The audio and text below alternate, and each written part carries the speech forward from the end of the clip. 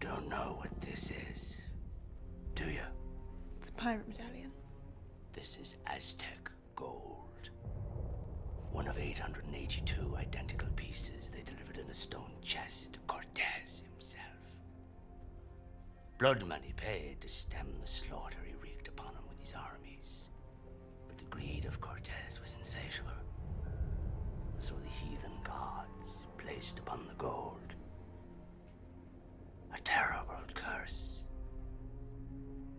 Mortal that removes but a single piece from that stone chest shall be punished for eternity.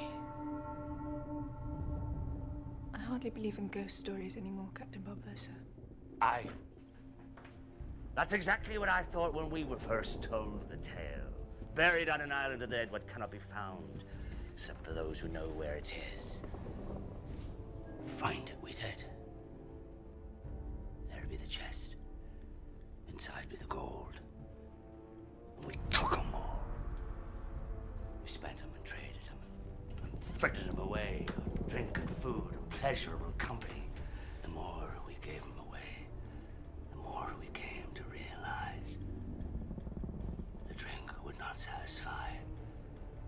Food turned to ash in our mouths, and all the pleasurable company in the world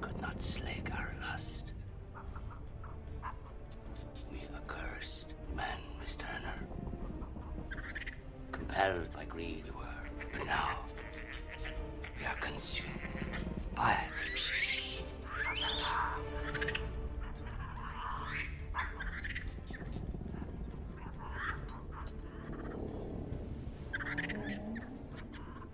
There is one way we can end our curse. All the scattered pieces of the Aztec gold must be restored, and the blood Thanks to ye, we have the final piece. And the blood to be repaid? That's why there's no sense to be